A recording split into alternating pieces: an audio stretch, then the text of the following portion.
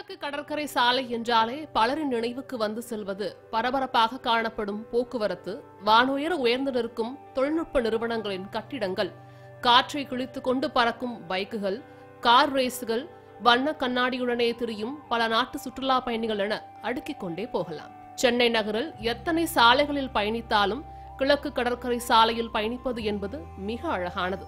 Mayajaal cinemas VGP MGM theme பார்க்குகள் Muttukadu படக்குலாம் கோவளம் கடற்கரை திருவடந்தை நித்திய பெருமாள் கோவில் முதலை பண்ணை புலிக்குகை மாமல்லபுரம் என ஏராளமான பொழுதுபோக்கு சுற்றுலா தலங்கள் என ரசித்துக் கொண்டே பயணத்தை இனிதாக்கிய கிழக்கு கடற்கரை சாலை தற்போது அலையில்லா கடலை போல அரவரமற்ற சாலையாக அடியோடு திருப்பி போட்டுள்ளது கொடூர கொரோனா.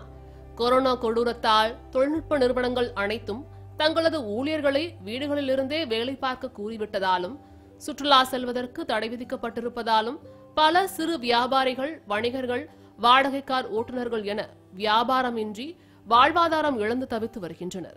இந்த பகுதிகளில் கடைகள் திறக்கப்பட்டிருந்தாலும் வாடிக்கையாளர்களின்றி அன்றைய முதலீட்டை கூட எடுக்க முடியவில்லை என கலங்குகின்றனர் பல வியாபாரிகள். சிலது வந்து பாதி அப்படியே போயிருக்கு கம்மியாக இருக்குது ரொம்ப கம்மியாக இருக்கு.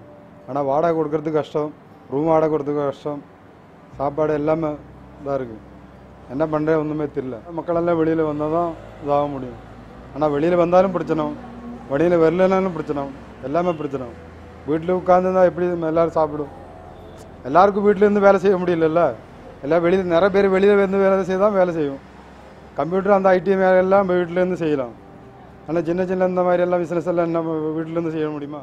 சென்னையில் பயணித்து கழிக்க எத்தனை இடங்கள் இருந்தாலும் கிழக்கு கடற்கரை சாலையில் பயணிப்பது என்பது பலருக்கும் மனம் கவர்ந்த ஒன்று. கொரோனாவின் தாக்கம் குறைந்து இயல்பு வாழ்க்கைக்கு திரும்புவது எப்போது என்பதே பலரின் தற்போதைய தாகமாக உள்ளது. மாலை முரசு செய்திகளுக்காக ஒளிப்பதிவாளர் ஆதித்யனுடன் செய்தியாளர் பாஸ்கர் பாண்டியன்.